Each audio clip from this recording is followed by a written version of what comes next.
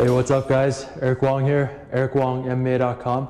And in today's video, what I'm gonna show you is a great mobility exercise that I've been using to help guys improve their kicking, the height of their kicks, and the stability of the kicks. It's also gonna help with something that I've been doing personally a lot lately is Olympic lifting. Specifically getting to the bottom of the, the Olympic lifts in that deep squat position where you're right down low and you're not only able to get down there, but you're powerful and you're stable in that bottom position.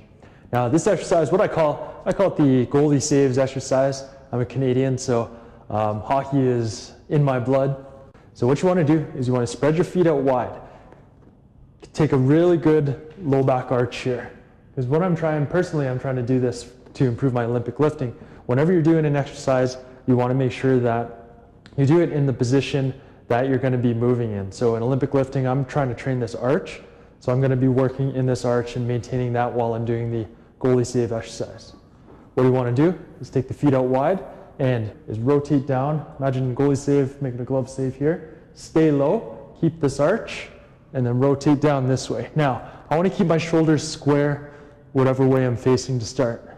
I'm just going back and forth, trying to get lots of rotation, keeping my head low. My head's not coming up and then down. My head staying low like I'm in a low ceilinged room here. And just pivoting as much as I can keeping my shoulders square. What you're going to find is this is going to stretch out the hip flexors great, but it's also going to be working the rotators in the hips, those deep rotators that give you the stability and the strength when you're throwing a kick. You have to rotate around your, th- your femur, that thigh bone has got to rotate smoothly around in the hip socket joint.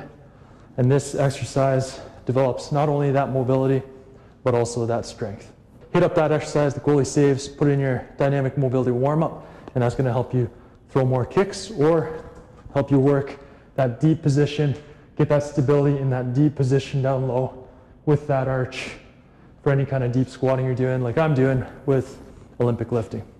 Hope you guys enjoyed that video, got a lot out of it, put it to use. Make sure you subscribe above. Again, this is Eric Wong, ericwongmma.com. Check out my site.